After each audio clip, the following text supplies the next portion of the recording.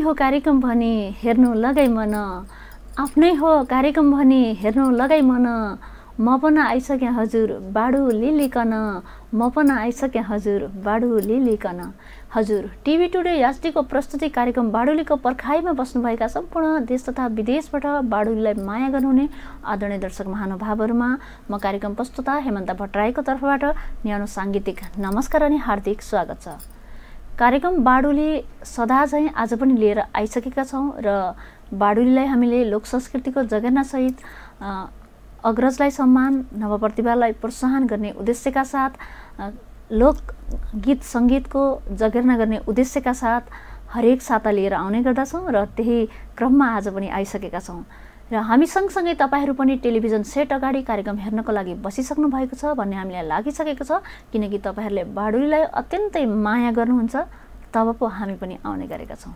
आदरणीय दर्शक महानुभावहरू सदाको बसाइ चाहिँ आजको बसाइलाई पनि अत्यन्तै रमाइलो गर्नको लागि तपाईँहरूलाई मनोरञ्जन दिनको लागि हामीले विशेष अतिथि कलाकारको साथमा उपस्थित हामी भइसकेका छौँ। त्यसैले म उहाँलाई कार्यक्रममा स्वागत गर्न गइरहेको छु। तपाईँलाई को हुनुहुन्छ होला भन्ने खोलदुली लागिसकेको हुनसक्छ। पक्कै पनि सरकारी जागिर खाने देखिँदैछ छाँट। सरकारी जागिर खाने देखिँदैछ छाँट। आजको पाहुना हुनुहुन्छ कुशल देउडा गायक देवेन्द्र भाट। आजको अतिथि हुनुहुन्छ कुशल देउडा गायक देवेन्द्र भाट। उहाँलाई म कार्यक्रममा स्वागत गर्दछु। स्वागत अनि नमस्कार चाहिँ यहाँलाई। धेरै धेरै धन्यवाद। र अनि टिभी टुडे टेलिभिजन हेर्नुभएका सम्पूर्ण दर्शकहरूमा मैले हार्दिक नमन गर्न चाहेँ। र सरकारी जागिर भन्नुभयो वास्तविक सरकारी जागिर होइन म गैर सरकारीतिर हो। एकदम। जो छाँटकाँट त्यस्तो देखिँदैछ भनेको। धेरै भयो जागिर गर्दै गरेको। अब उकाली ओला ओह्राली गर्दै गर्दा करिब करिब सोह्र सत्र अठारै वर्ष चाहिँ काटियो भनौँ गैर सरकारी संस्थामा क्षेत्रमा। हजुर। जागिरतिर नै बढी बिजी छु भन्नुपर्छ यति बेला। जस एउटा जागिर खाइराख्ने मान्छे होइन? गीत सङ्गीतलाई माया गर्दै जागिर खाइराख्नु भएको छ। मैले चाहिँ त्यो जस गैर सरकारीमा जागिर खाइराख्नु भएको छ सरकारी जागिर खाने छाटकाट देखिरहेको हुँदाखेरि मैले त्यो एउटा भाव बोलेँ है। ठ्याक्कै मैले यही हो भन्न खोजेको पनि होइन। तर त्यो पक्कै पनि कुनै दिन पुग्छ कि जस्तो पनि लाग्यो मेरो शब्दले। सायद अब माना त सरकारी नै खाइरहेको छु हजुर हजुर। नेपाल सरकारकै माना हो गैर सरकारी क्षेत्रबाट खाइरहेको छु मैले अब नेपाल सरकारकै माना खाएको छु नेपाल सरकारकै ऋणी हो जहिलेसम्म चाहिँ सकिन्छ नेपाल सरकारकै सेवा गर्छु। र त्यो सँगसँगै अब सहायक पाठकको रूपमा मैले चाहिँ गायकी क्षेत्रलाई पनि अब सँगसँगै जोडिराखेको छु। अनि मनमुरु धड्कनमा चाहिँ देउडा क्षेत्र चाहिँ तैरिरहेको हुँदाखेरि जागिर सँगसँगै समय मिलाएर मैले चाहिँ वर्षमा एकचोटि अर्थात् दुई वर्षमा एकचोटि चाहिँ प्यारा दर्शकहरूको लागि चाहिँ एउटा दुइटा गीतहरू दिने गरेको छु। आफ्नो काम सँगसँगै गीत सङ्गीतलाई माया आफ्नो संस्कृतिलाई माया गरिराख्ने देवेन्द्र भाट। यसरी भन्नुपर्छ। एकदम एकदम। हामीले अब कुराकानी त गर्ने नै छौँ तपाईँको बारेमा धेरै जान्ने नै छौँ। दर्शकहरूलाई पनि त्यति नै चासो छ तपाईँको बारेमा जान्नको लागि। त्योभन्दा पनि बढी देवेन्द्र भाटले गाएका गीतहरू सुन्नको लागि दर्शकहरू धेरै आतुर हुनुहुन्छ र म पनि आतुर भइसकेको छु। सुरुवातमा नै अलिकति रमाइलो तरिकाले जानुपर्छ भन्ने मलाई लागेको छ। र गीतबाटै सुरु गर्ने हो एकदमै गीतबाटै। सबभन्दा पहिलो कुरो। मैले दुई हजार बैसठी सालमा हजुर। एउटा गीत अपुरा झल्का एल्बम त्यति बेला एल्बमको जमाना थियो। हजुर हजुर। क्यासेटको जमाना थियो। एउटै क्यासेटमा चाहिँ छवटा गीतहरू हुन्थ्यो। हजुर। अत्तरियाबाटै रेकर्ड गरेको। हजुर। अनि अहिलेसम्म चाहिँ त्यो गीत मेरो लागि अजम्बरी गीत सायद म नहुँदा पनि चाहिँ मलाई बचाइराख्ने छ त्यो गीतले। मैले त्यहाँबाटै सुरु गर्छु। सायद त्यति बेला चाहिँ एफएमहरूको चाहिँ स्थापना हुने काल थियो। एफएमहरू जन्मिँदै गर्दाखेरि त्यो गीतले चाहिँ अहिलेसम्म पनि जिङ्गलको रूपमा स्थान त पाइरहेको नै छ। र त्यति बेला चाहिँ अति नै बजेको गीत सबैले मन पराएको गीत। मलाई एउटा कलाकार एउटा गायक भनेर चिनाएको गीत। हुन त म यो गायकी पेसामा त्यति नजिक चाहिँ होइन अलि टाढैबाट सपोर्ट गरेको पेसा हो यो भनेको। र म त्यही गीतबाट सुरु गर्छु। हुन्छ एकदमै। बालो जो बने बौलो माया रामारो सने ताला। को छ कैकी साटु फुल नाना पाइ ओइले बाई गई कठै माया जाला। तू समझे लागे कि सौराई रामारो सने ताला। कैखी सम्झे काटु फुल नाना पाइ ओइली बाई गई कठै माया जाला। कैखे सम्झे काटु फुल नाना पाइ ओइली बाई गई कठै माया जाला। मेरो एकदम परिचय भन्नुपर्छ मेरो चिनारी भन्नुपर्छ। म एउटा गायक बनेको नै यही गीतले नै हो। यो गीतले तपाईँलाई आजसम्म देवेन्द्र भाट कुशल गायक भनेर चिनाएको गीत। चिनाएको गीत। त्यसैले पनि तपाईँलाई त्यतिकै माया छ। एकदम मेरो पहिलो परिचय नै यही नै हो। जस यो त एउटा जन्म दिने आमालाई कहिले पनि भुल्नु हुँदैन भन्ने गरिन्छ होइन? त्यसरी नै यो गीतलाई पनि तपाईँले गायक भनेर एउटा जन्म दियो यो गीतले। एकदम एकदम। मलाई खासमा भन्नुपर्दाखेरि हुन त त्यो एल्बममा चाहिँ राम्रा राम्रा लयहरू छन्।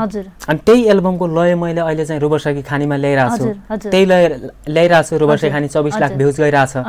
तर त्यो गीत भन्दा पनि यो रामारोसन ताला जुन एकल लय थियो मेरो मेरो आफ्नै शब्द लय थियो। अनि त्यो जमानामा चाहिँ जब चाहिँ प्रेम गर्नेहरूले चाहिँ चिठी पत्रको जमानामै प्रेम गर्थे क्या अनि त्यसमा यी शब्द नै त्यस्तो भएको कारणले गर्दा मलाई जिउँदो राख्यो यो गीतले।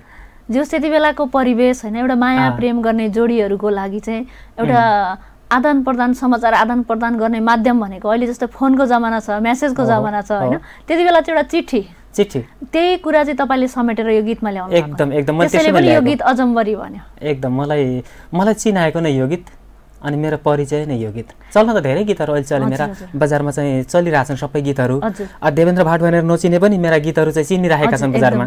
तर मैले चाहिँ मेरो परिचय भन्छु यो गीतलाई त। एकदमै। यो गीत बजारमा आइसकेपछि त्यति बेलाको तपाईँले समय सान्दर्भिक गीत निकाल्नु भएको थियो। दर्शकहरूको कस्तो खालको प्रतिक्रिया पाउनु भएको थियो त्यति बेला? मलाई लाग्छ यो कलाकार भइसकेपछि बाँच्न गाह्रो छ। सबभन्दा ठुलो कुरो भनेको कलाकारले बाँच्न पर्छ। अनि कलाकार जब बाँचेछ भनेपछि बल्ल कलाकारिता चाहिँ बच्छ। अनि मसँग प्रतिभा छ म शब्द लेख्छु म लय बनाउँछु म आफै पनि स्वर दिन्छु। तर म बाँच्न सकेन भनेपछि कलाकारिता मेरो तर्फबाट मर्छ। त्यो सबै मर्यो। आवाज मेरो तर्फबाट मर्छ। थुप्रै छन्। मेरो तर्फबाट चाहिँ गाइदिन सक्छ जस्तो एउटा व्यक्तिको आवाज मर्यो शब्द मर्यो है। त्यति बेला मलाई के लाग्छ भनेपछि मैले सम्झिन चाहन्छु यति बेला मेरा सङ्गीत क्षेत्रका गुरुहरू। हजुर। सबभन्दा पहिलो कुरो त म सेती प्राविधिक शिक्षालय डोटीमा पढ्दाखेरि एकजना बजाङको सर हुनुहुन्थ्यो सत्यराज राहुल उहाँलाई म भुल्दैन कहिले पनि। अनि त्यति बेला म चाहिँ एकचोटि चाहिँ बसी बिहालो कार्यक्रममा गीत गाउन गएको। बच्चा थिएँ त्यति बेला सानो यत्रो बच्चा थिएँ। गीत गाउन गएको अनि देवेन्द्र भाटले त मिठो गीत गाउँदो रहेछ भनेर कता साथीहरूले चाहिँ सुनाइदिएछन्? हजुर। उहाँले कोठामै बोलाएर मलाई भन्नुभयो कि ल गीत गाउ त। हजुर। म चाहिँ हार्मोनियम बजाउँछु। सरको कोठामै हार्मोनियम रहेछ। त्यो सुरताल थाहा नपाएको मान्छे। उहाँले मलाई दुई चार दिन राखेर आफ्नो चेला सरी सम्झिएर चाहिँ मलाई अलिकति थोरै सुरताल सिकाउनु भयो। पहिले चाहिँ सङ्गीत क्षेत्रको गुरु चाहिँ उहाँ मेरो। अनि दोस्रो कुरो त्योभन्दा पछाडि म सम्झिन चाहन्छु मेरो गुरु। आदरणीय पदमबहादुर धामी अनि लोकदोरी प्रतिष्ठानको अहिले प्रदेश कमिटी अध्यक्ष। अनि प्लस चाहिँ मेरो सहोदर दाजु भोजराज भाट। अनि उहाँहरू दुईजना मेरो चाहिँ गुरु हुनुहुन्छ। अनि अपुरा झल्का एल्बम बनाउनुभन्दा अगाडि के भयो भनेपछि उहाँले भन्नुभयो पदम सर चाहिँ अङ्कल भन्नुहुन्छ मलाई। हामी नजिकै नाता लाग्छ। अनि उहाँले भन्नुभयो अङ्कल एउटा हामी पनि क्यासेट बनाउनु के हुन्छ भन्ने कुरो गरेँ। अनि दाजुले भने ठिकै छ नि त बनाउनु त एउटा। शब्द लेख्नमा हामी छँदैछु लय बनाउनमा हामी छँदैछु। गाउनको लागि दाजुभाइहरू सबै छँदैछन्। बनाउनु त भन्ने कुरो भयो लोकदेवरी प्रतिष्ठान अछामबाट एउटा म। पूर्ण भाट मेरो आफ्नै दाजु अनि ध्वज ठगुल्ला हाम्रो प्रतिष्ठानकै एकदम हुनार कलाकार हुनुहुन्थ्यो। अब तिनजना आएर एउटा एउटा गीत गाउनुपर्छ भनेर त्यसरी चाहिँ अत्तरिया झड्यौँ कुसुममै रेकर्ड गरेँ मानले रेकर्ड गरिसकेपछि मैले भने अघि तपाईँलाई कलाकारले बाँच्नुपर्छ भनेर। मैले त्यति बेला बाँच्ने चान्स पाएन। अपुरा झल्का एल्बम राम्रो बनाएको थियो। म जहिले पनि शब्दमा घमण्ड गर्छु। मेरो स्वर र मिठो होइन। म यो क्षेत्रलाई माया गर्ने मान्छे मात्र हो। शब्दमा घमण्ड गर्थेँ मैले। शब्द राम्रै थियो। अनि क्यासेट बजारमा हाल्दाखेरि एकदम पेलेर हालिदिएछ।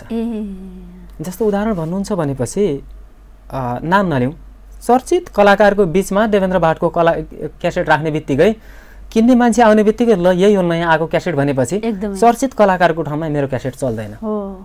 अर्को कुरो सिजनको कुरो चल्छ त्यति बेला। सिजन भनेको जति बेला चाहिँ मान्छे कामको प्रेसमा हुन्छ त्यति बेला उसले पानी खाने फुर्सुद पाउँदैन। क्यासेट कुन आज बजारमा खोज्ने फुर्सुद नै हुँदैन उसलाई सुन्ने फुर्सुद नै हुँदैन। त्यो बिचमा लिएर हालिदिएछ। मैले चाहिँ माघमा रेकर्ड गरेको क्यासेट लिएर चाहिँ जेठमा हालिदिएछ। पेलेछ मलाई। अनि म त्यतिमै सीमित रहने मान्छे थिएँ। तर के भयो भन्दाखेरि पछि चाहिँ जब मलाई पेलिसकेपछि कम्पनीले नाम नलिउँ कुनै कम्पनीको पनि लिन राम्रो पनि हुँदैन। पेलिसकेपछि मैले दोस्रो बनाउनै पर्छ। देखाउनको लागि बनाउनु पर्छ मैले आफ्नो अनि मैले छोड्नु नभए कसलाई देखाउनु पर्छ भन्ने कुरो हो राम्रो प्रतिक्रिया पाइसकेपछि गीतहरू राम्रो चलिसकेपछि मेरो क्यासेट बिक्री भएन। अछाममा मैले माग्दा माग्दै पनि डबिङ भएर क्यासेट चाहिँ सयौँ क्यासेट बिक्री भयो तर चाहिँ मेरो क्यासेट पठाइदिएन। अनि जम्मा जम्मी एक हजार क्यासेट बिक्रीको सीमामा रहेँ म। त्यत्रो मलाई पेलिसकेपछि दोस्रो बनाएँ मेरी महिना चढी। मेरी महिना चढीमा मैले चाहिँ कहानी कसैको चोरेँ। म कलाकार हो। ठुलो चोर हो म पनि। तर प्रत्यक्ष चोर होइन मैले कहानी मात्र चोरेको। शब्द आफ्नै हो कसैको कहानी मात्र चोरेँ। बनाइसकेपछि कमसेकम पैँतालिस सय क्यासेट बिक्री भयो दोस्रो।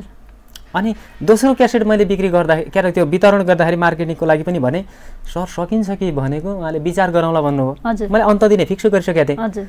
तिन दिनपछि उहाँले स्टुडियोमा आएर सुन्दाखेरि ल राम्रै रहेछ अब मार्केटिङ गर्नुपर्छ पर्छ भनेर मलाई पछि फोन गर्नुभयो। के छ क्यासेटको टुङ्गो लाग्यो कि लागेन भनेपछि मैले दिइसकेँ सर भन्ने कुरो गरेँ नमस्कार भने मैले छोडिदिएँ। त्यो गीत जाओस् न मेरी महिनाचरी मेरी महिनाचरीबाट म एकल भाका गाउँछु। एकदम।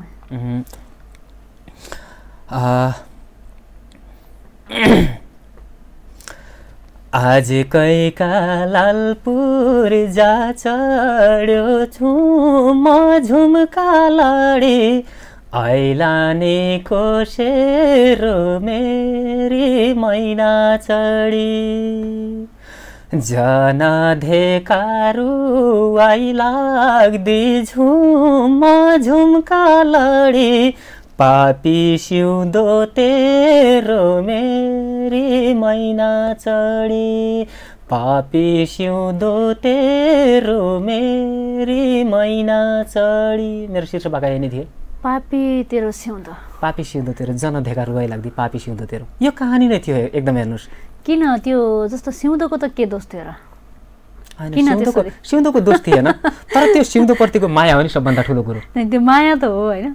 जस्तो शब्दले भनेको छ पापीतिर सिउँदो पापी सिउँदोतिर यो कहानी नै छ मैले भने त म। बरु उसको मन पापी हुनसक्छ। होइन उसले किनकि निर्णय लिन सकेन होला। तपाईँलाई तपाईँको माया चिन्न सकेन होला। होइन मैले माने। मैले माने त्यो कुरोमा। एकदम माने। मैले अघि नै भने मैले कसैको कहानी चोरे यो कुरोमा। एउटाले भन्थ्यो मलाई। अनि म कलाकार हुँदै फिल्डमा काम गर्दै गर्दाखेरि उहाँले मेरो क्यासेट सुन्नु भएको रहेछ। मलाई चिन्नु भएको रहेछ। मैले चिनेको थिएन। यसो गफ गर्दै जाँदाखेरि उहाँले चाहिँ गफ गर्दै जाँदा चाहिँ आन्तरिक कुराहरू भए। भइसकेपछि उहाँले चाहिँ आफ्नो यथार्थ कहानी भन्नुभयो। विवाह गरेँ। विवाह गरिसकेपछि म इन्डिया गएँ। घर खर्च धान्न पर्यो। अनि घरमा चाहिँ मेरो आमा र मेरो श्रीमतीको चाहिँ झगडा भयो। अनि घरबाट मलाई फोन गरेछन्। मङ्गलसेन गएर फोन गर्नु पर्थ्यो त्यति बेला इन्डिया फोन गर्नुलाई पनि। अनि कि तेरि जोइकन सातो लैजा अनि कि आएर घर मिलाइजा भनेर मलाई खबर गरेँ। घरमा आएँ घरमा आइसकेपछि मिलाउन सकिनँ। झगडा गरेँ श्रीमतीसँग आमा बुवासँग झगडा गर्न सकिनँ। भागेर इन्डिया गएँ फेरि। तिन महिनापछि भन्छन् तेरि जोइ त पहिले बाइकै जारी लिन आइज त्यो भनिसकेपछि त्यसले भनेका कुरा के? यथार्थ कुरो। मैले भने म चोर भन्नुको कारण त्यो कहानी चोरे मैले।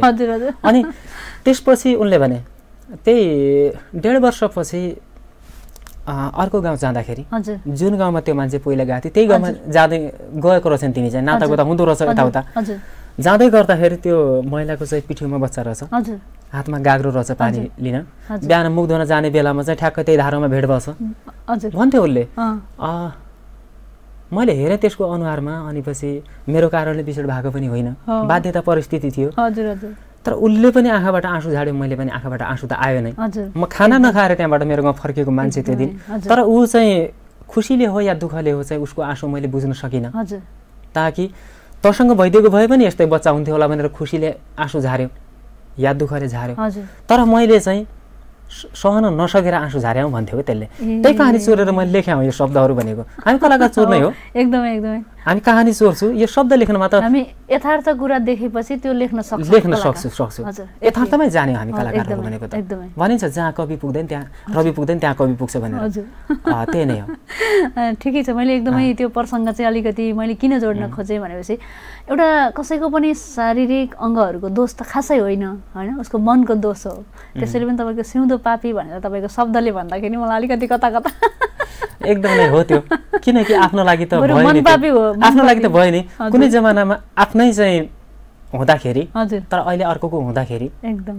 देख्दाखेरि त सहन नसक्ने होला नि त। कल्पनामा डुब्दाखेरि ती कुराहरू त आइहाल्छ। एकदमै। आउँछ तर मन पापी भन्दै अब अझ राम्रो हुन्थ्यो होला। सुझावको लागि धन्यवाद। थ्याङ्क यू मेरो मेरो एउटा भाव है। एकदम एकदम। सुझावको लागि धन्यवाद। सुझाव भन्दा पनि अब तपाईँको तपाईँको कुरा पनि एकदम राम्रो छ होइन? अर्को कुरो देउडामा के हो भनेपछि देउडामा अलिकति त नभनेर चाहिँ मिठास आउँदैन रहेछ। त्यो तरिकाले पनि चाहिँ जोड्न मिल्दो रहेछ कि यस्ता कुराहरू। कुरो यही नै हो। तपाईँको रुबसेकी खाने एकदमै सबैले मन पराएको गीत र धेरै भ्युज पनि गएको गीत। एकदम एकदम। अब त्यो गीत पहिला त सुन्नै पऱ्यो हामीले। सुन्नुपर्छ सुनिसकेपछि बल्ल रुबसकी खाने हेरौँ त अप्सरा जसी रुबसकी खाने। क्या कसो छ बानी बोल्यालै गालिदिने हौ कि क्या कसो छ बानी। यो केटातिरको लाइन पर्छ अनि केटीले भन्छ क्या हो तम्रो चाला ओर्की फर्की क्या हेर्दा छौ? क्या हो तम्रो चाला? नजान्या जाने जाला जान्या कि अमृत घडा नजान्या जान जाला। एकदम यही नै हो। कति राम्रो।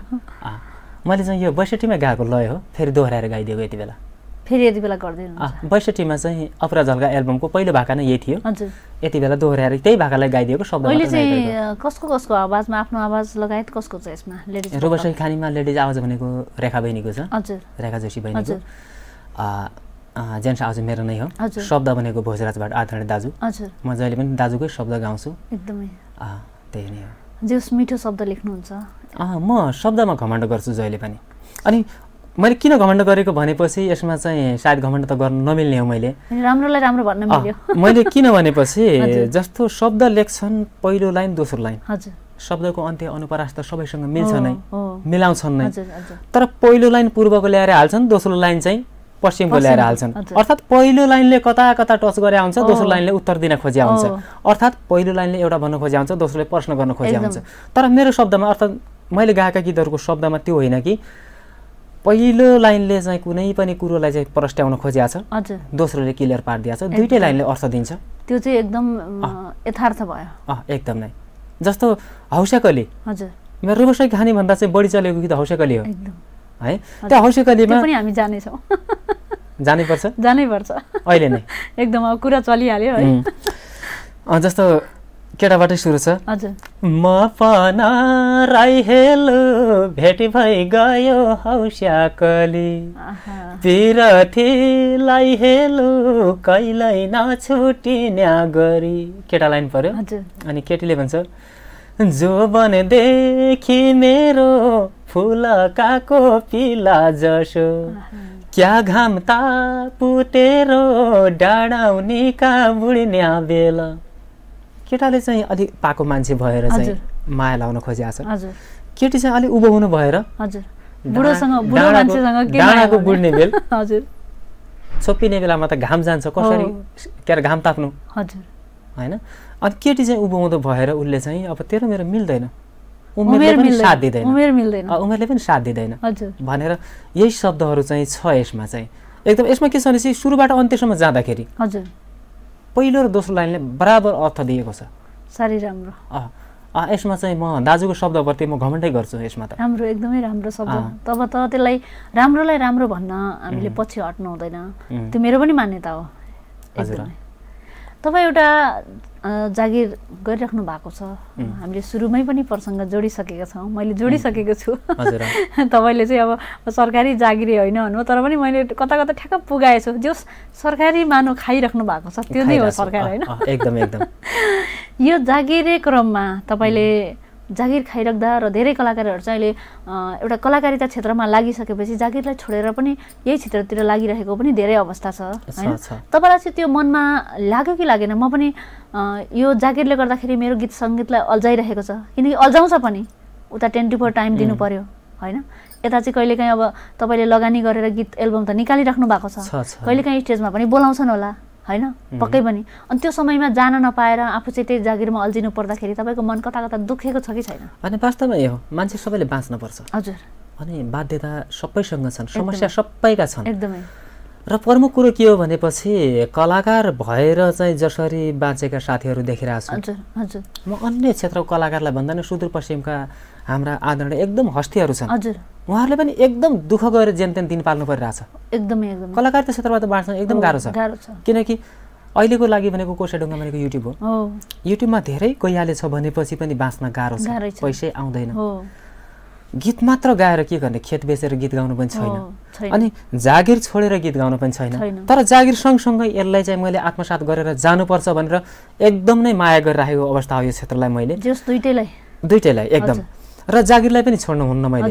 गर्नै पर्छ जागिर। किनभने नि मसँग आश्रित परिवारहरू छ। परिवारको लागि नै हामी चाहिँ यत्रो दौडधुप गरिरहेको छु परिवारको माया पनि मार्न सकिएन। बच्चाहरूको भविष्य पनि चाहिँ मार्न सकिएन। र त्यो सँगसँगै आफ्नो संस्कृति जब कि बुवा बाजे यही देउडा क्षेत्रमा चाहिँ हुर्किएर चाहिँ उहाँहरूले दिन काटेर गए। बुवा बाजेको यो संस्कृति पनि त बचाउनु पर्छ। हामीले बचाए पो हाम्रा पछाडिका सन्ततिहरूले पनि बचाउँछ। बचाउँछ। अनि त्यही माया लागेर मलाई चाहिँ वर्षमा चाहिँ मैले तेह्र महिना तलब खान्छु भनेपछि तिन महिनाको तलब चाहिँ सङ्गीत क्षेत्रलाई। एकदमै। राम्रो। मेरो आफ्नो मान्यता। र स्टेजमा जाने कुरामा भन्नुपर्दाखेरि सबै कलाकारहरूले समग्रमा स्टेज पाएको अवस्था देखिन्न। स्टेज पाउनुको लागि चाहिँ मैले तितो बोल्नुपर्छ यति बेला। खुट्टा मल्नुपर्छ। क्षमता छ शब्द छ लय छ स्वर छ हरेक कुरो छ। समय पनि मिलाउँला। हजुर। मलाई स्टेज दिनुहोस् भनेर चाहिँ किन खुट्टा मल्ने कसको? जोड्ने अवस्था छ जोड्दैन म जिन्दगीमा जोड्दैन। र जोडेर चाहिँ स्टेजमा म जान पनि जाँदैन। कसैले सम्मानित तरिकाले बोलाउँछ भनेपछि मलाई दुई रुपियाँ नदेओस् मैले मेरो कला देखाउनु पाऊँ। त्यहाँ चाहिँ मलाई बरु लगानी गरेर जान्छु म। कुनै स्टेजमा लगानी गरेर पनि गाछु म। टिकट काटेर भित्र गएर बोलाएको थियो उहाँहरूले। उहाँहरूको चाहिँ टिकट ठेलीमा चाहिँ मेरो फोटो पनि राखेको थियो। तर जाँदाखेरि मैले भित्र गएर चाहिँ टिकट काटेर आएँ गएँ भित्र। फर्किँदाखेरि उहाँहरूले दिएको नासो चाहिँ अर्को मान्छेलाई त्यहीँ सुम्पेर पनि आएको लगानी गरेर गएको छु। कसले सम्मानित तरिकाले बोलाउँछ भने चाहिँ त्या तरिकाले जाने हो मैले। तर हजुर मलाई चाहिँ स्टेज दिनुहोस् दुई चार हजार दिनुहोस् मेरो गाडी खर्च दिनुहोस् म आउँछु स्टेजमा भनेर म त्यसरी जाँदैन। जोस् एउटा तपाईँ चाहिँ त्यो त्यो सोचभन्दा पनि अब आफ्नो जागिर पनि मैले खाइरहेको छु होइन? परिवारलाई पनि पालिरहेको छु म पनि पालिरहेको छु। र त्यसरी एउटा कलाकार भनिसकेपछि देशको अभिङ्ग अङ्ग नै लगभग मैले मेरो सोच चाहिँ अभिङ्ग अङ्ग मान्नुपर्छ। अब धेरैले भन्नु गर्नुहुन्छ कि अहिले चाहिँ कलाकार भनेको चाहिँ राष्ट्रको गहना हो एकदम। भन्ने गरिन्छ होइन? गहना भनेको चाहिँ मन पर्दा लाउने मन नपर्दा फुकालेर फाल्ने चिज हो। यसरी यसरी नै हो नि त खास हेर्ने होइन? तर म चाहिँ के भन्छु भने गहनाको रूप गहना राम्रो चिज हो तर गहनाको रूपमा भन्दा पनि अभिङ्ग अङ्ग नभई नहुने चिज हो नि त कलाकार भनेको। अहिले हरेक कार्यक्रममा हरेक ठाउँमा कलाकार नपुगेको कार्यक्रम खल्लो हुन्छ। एकदम खल्लो। त्यसैले पनि अभिङ्ग अङ्ग हो भन्न म रुचाउँछु। र तपाईँ पनि त्यही सोचको मान्छे। त्यसैले पनि कलाकारलाई एउटा सम्मान हुनुपर्छ सम्मानजनक तरिकाले जुनसुकै कार्यक्रममा बोलाइयो भने आफू जान सक्ने भनेर त तपाईँले एउटा राम्रो भावना व्यक्त गर्नुभयो। र एउटा तपाईँ सरकारी क्षेत्रमै काम गरिराख्दा तलब खाइराख्दा कलाकारलाई चाहिँ कस्तो सेवा सुविधा होस् भन्ने खालको के छ तपाईँ एउटा मैले यो यसमा चाहिँ मैले भन्ने कुरोमा। हजुर। अब कलाकारलाई नै कस्तो सेवा सुविधा होस् भन्ने कुरोमा कि छुट्टै निकाय हुनुपर्छ? हजुर। त्यो निकाय मार्फत कलाकार परिचालित हुनुपर्छ पहिलो कुरो। त्यो सम्भव छँदै छैन। किन भनेपछि हामी कलाकार भनेको त अहिले एउटाको छु भोलि अर्कोको छु होइन? त्यो निकाय नै छैन त्यो सम्भव पनि छैन। तर मात्र कुरो के हो भनेपछि चुनाव आउँदै गरेछ यो चुनाव आउँदै गर्दाखेरि देवेन्द्र भाटले कुनै पार्टीको स्टेजमा जाँदाखेरि फलानु पार्टीको कलाकार फलानु पार्टीको कलाकार नभनोस् पहिलो कुरो मेरो अनुरोध भनेको। त्यो स्टेजमा जाने भने कसले हो भनेपछि सम्बन्धित मान्छेले जान पर्छ त्यो मान्छेलाई चाहिँ सम्बन्धित पार्टीकोले मन पराउँछ। हामी कलाकार भनेको स्वतन्त्र हुनुपर्छ। हामी कलाकार भनेको चाहिँ सबैको प्यारो बन्नुपर्छ। हामी कलाकार भनेको कसैको आँखाको कसिङ्गर बन्न हुन्न। बुढोदेखि बालोसम्मले चाहिँ मन पराओस् हामी कलाकारहरूलाई। त्यही होस् नि त। जस्तै जस्तै अब एउटा कलाकार जस्तै तपाईँ कुनै अब कुनै एउटा पार्टीको कार्यक्रममा जानुभयो बोला बोलायो तर तपाईँ जानुभयो। होइन? एउटा कलाकार भइसके जस्तो बोलाएको ठाउँमा त जान पायो नि त कलाकारले पायो पायो। तर त्यो पार्टीमा गइसकेपछि भोलि तपाईँ अर्को पार्टीमा बोलाएपछि जान सक्नुहुन्छ हो कि होइन? जान सक्यो नि त कलाकार हो नि त साझा हो नि त कलाकार भनेको। साझा चाहिँ हो। हो कि पार्टीको व्यक्तिगत होइन त्यही त व्यक्तिगत होइन। आज एक ठाउँमा बोलायो एउटा एउटा पार्टीले बोलायो होइन? तपाईँ जानुभयो। भोलि अर्को पार्टीले बोलाउला तपाईँ जानुभयो तपाईँ त साझा हो नि त। तर त्यो पार्टीमा जाँदाखेरि साझा चाहिँ होइन है फेरि। नै मैले भन्न खोजेको एउटा एउटा कलाकारलाई उदाहरण मात्र दिन खोजेको अहिले। तपाईँलाई जोड्न खोजेको यो। तपाईँलाई नै जोडेको होइन कि? हाम्रो प्रसङ्ग मात्रै उठेको। तर त्यो नजरले जुन पार्टीमा गयो त्यही पार्टीको कलाकार भनेर चाहिँ त्यो नहेरिदियो हुन्थ्यो भन्ने खालको मेरो एकदम एकदम। हो त्यही होइन विचार। त्यो नै हो कि? मैले भन्न खोजेको मात्र यो हो कि? कुनै नेता स्टेजमा जान्छ। सम्बन्धित पार्टीकाले ताली बजाउने उनलाई। सम्बन्धित पार्टीकाले मन पराउने हो। तर हामी कलाकार भइसकेपछि एउटा बालोदेखि वृद्धसम्मले चाहिँ समग्र सबै पार्टीहरूले सबै क्षेत्रले चाहिँ मन पराइदिउन्। हजुर। बोलाको ठाउँमा जाँदाखेरि त्यो फलानुको यसको उसको नभन्दिए हुन्थ्यो नभन्दिए हुन्छ। होइन? जस्तो देवेन्द्रबाट जान्छ स्टेजमा फलानु पार्टीको कलाकार भनेर मलाई किन भन्ने? प्रत्यक्ष रूपमा म त्यहाँ जान्छु भने चाहिँ कलाकार भएर जान पाऊँ। कसैको बिल्ला उडेर जान नपरोस्। एकदमै राम्रो विचार र फेरि पनि हामी यो कुराकानी सँगसँगै तपाईँको बुट्टे साडी। एकदमै मन पराएको गीत है? एकदम। यो गीतलाई हामी जोड्नेछौँ बुट्टे साडी हजुर समय पनि हामीसँग कम कमै छ। बुट्टे साडीलाई मैले सुरु गरेँ। हजुर। फुली गई गुराउँसी फुल क्या रङ्ग बसाली तेरी बुट्टे सारी हो। सौराई लागि भेट्न आइग्या एक उल्ट्या बाल फाली तेरी बुट्टे सारी हो। कान्छीलाई मन पर्ने मेरो फुर्केदारी हो। कान्छालाई मन पर्ने मेरो बुट्टे सारी हो। यो अलिकति मैले चाहिँ कमेडी टाइपको बनाएको। अलिकति जस मिक्स गरेर गाउनु भएको रहेछ। सोलो फास्ट दुइटै भाका मिलाएको। पूर्व पश्चिम सबैतिरले माया गर्ने गीत जस्तो लाग्यो अलिकति लोक टाइपको। त्यही त। सबै सबैले माया गर्ने सबैले बुझ्ने सबैले माया गर्ने। तर प्रतिक्रिया पाउँदाखेरि के भयो भने चाहिँ पुरै डेउडाको शब्दहरू भएको हुँदाखेरि गीत चाहिँ अति मिठो छ तर चाहिँ शब्द अलिक बुझिएन भन्ने कुरो प्रतिक्रिया आइरहेछ क्या यसमा। एकदमै यहाँसम्म ल्याउनको लागि बिम्बिष्ट अछामी रेखाको पनि ठुलो हात छ। एकदमै। भाइलाई पनि एकदमै धन्यवाद भन्न चाहेँ र हजुर आदरणीय दर्शक महानुभावहरू यतिन्जेलसम्म हाम्रो कार्यक्रममा हाम्रो निम्तालाई सहजै स्वीकारेर आइदिनुभएका कुशल देउडा गायक देवेन्द्र भाटलाई धेरै धेरै धन्यवाद दिन चाहन्छौँ कार्यक्रमको तर्फबाट। र तपाईँहरूले पनि कार्यक्रम यतिन्जेलसम्म हेरेर बसिदिनु भयो तपाईँहरू सम्पूर्णलाई पनि विशेष विशेष धन्यवाद दिन चाहन्छौँ। र हामी बाडुली कार्यक्रमका सम्पूर्ण युनिट तपाईँहरू माझबाट बिदा हुन चाहन्छौँ। भन्दै म कार्यक्रम प्रस्तुता हेमन्ता भट्टराई पनि अर्को बार यही साता यही बार तपाईँहरू माझमा आउने आशाका साथ आज भने बिदा हुन चाहन्छु। हस्त धन्यवाद। नमस्ते।